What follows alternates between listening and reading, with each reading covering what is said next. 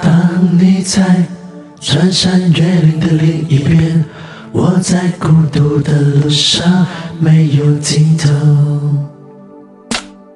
一辈子有多少的来不及发现，已经失去最重要的东西，恍然大悟早已远去，为何总是在犯错之后才敢相信？错的是自己，他们说这就是人生，试着体会，试着忍住眼泪，还是躲不开应该有的情绪。我不会奢求时间停止转动。我知道逃避一点都没有用，是这段时间里，尤其在夜里，总是会想起难忘的事情。我想我的思念是一种病，久久不能痊愈。当你在穿山越岭的另一边，我在孤独的路上没有尽头，只感觉你在耳后的呼吸。却未曾感觉在心口的鼻息，鼻息。汲汲营营，忘记身边的人需要爱和关心，借口总是拉远了距离，不知不觉无声无息。我们总是在抱怨事与愿违，却不愿意回头看看自己，想想自己。到底做了什么蠢事情？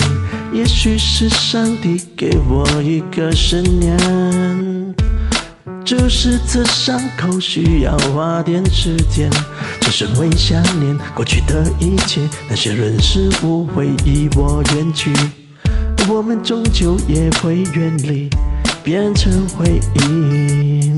当你在穿山越岭的另一边。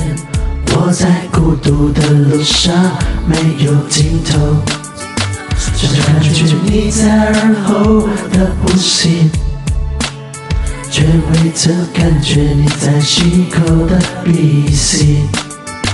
哦，思念是一种病，哦，思念是一种病，一种病。多久没有说过爱你？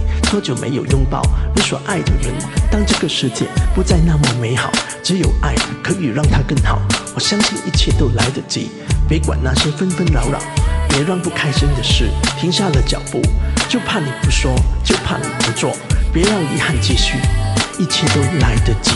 当你在穿山越岭的另一边，我在孤独的路上没有尽头。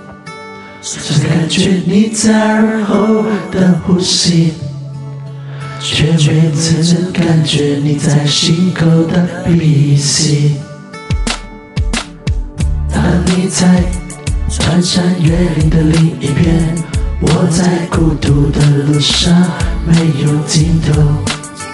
只感觉你在耳后的呼吸。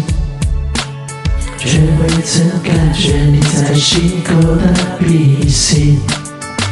哦，思念是一种病。